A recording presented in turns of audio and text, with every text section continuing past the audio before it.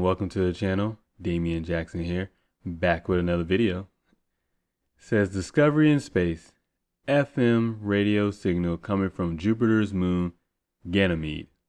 Now, I don't know if you're like me, but I like to show The Expanse. I haven't caught up on a new season yet, but I could have sworn there was a space station or something like that on Ganymede, one of Jupiter's moon. I don't know. I don't know. I don't know if I'm correct or not. I'm just throwing it out there. But this is interesting, right? Because it says discovery in space. Discovery. To mean make something new. Or, or not make something new, but uh, learn a new information that is new to you, to your audience, to, to your country, to your people, whatever the case may be. Doesn't mean that it, it wasn't already there. It's just you make light of. Now, this is from uh, MysteryWire.com, but this article pretty much, I think it's a copy paste article. It says the Juno spacecraft orbiting Jupiter has discovered an FM radio signal coming from the moon Ganymede. The find is a first time detection from the moon. Patrick Wiggins, one of NASA's ambassadors to Utah, says, quote unquote, it's not ET, it's more of a natural function. I don't understand why they give us stuff from space and then I know some people first thought of, oh man, it's gonna be aliens. And then the first thing you read an article that someone is always saying, Oh, don't no, it's not aliens. If it's not aliens, what what the fuck is the significance of this then? like like what if it, what, what what's the significance of this? It says Juno was traveling across the polar region of Jupiter where magnetic field lines connect to Ganymede, and that's when it crossed the radio source. Scientifically, it is called a democra- de- decametric radio emission. If I said that right, I don't know. Decametric.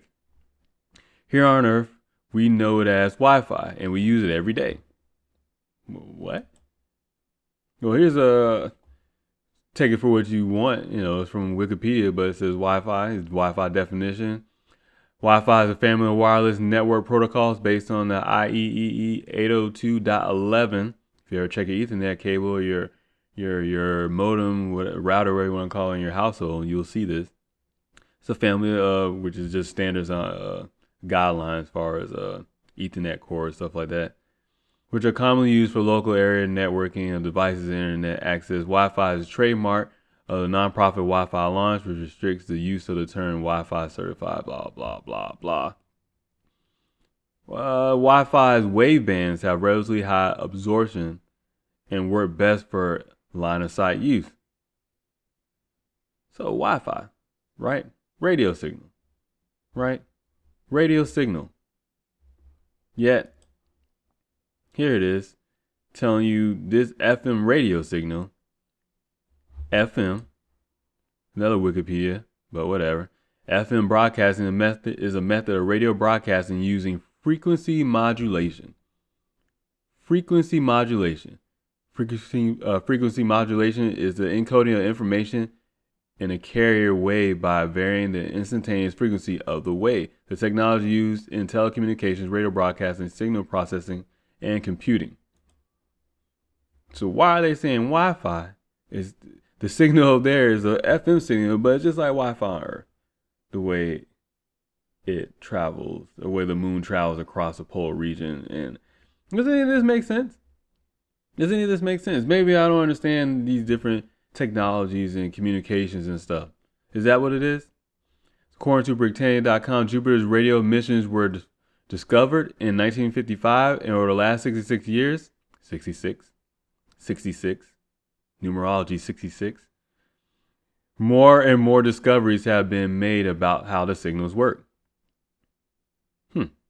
Juno's mission is to study how the planet Jupiter formed and how it evolved. Keeps talking about Juno, not Ganymede. Says what caused the radio emission from Jupiter's moon again Aliens are not sending the signal, electrons cause the signals. Well, that's interesting. That electrons cause the signal. Wi Fi, FM. It's all over the place, right? I don't know. I just thought I would just throw this out there. It seems kind of interesting. maybe something to look into. That's just my thoughts. So until next time. This is a dangerous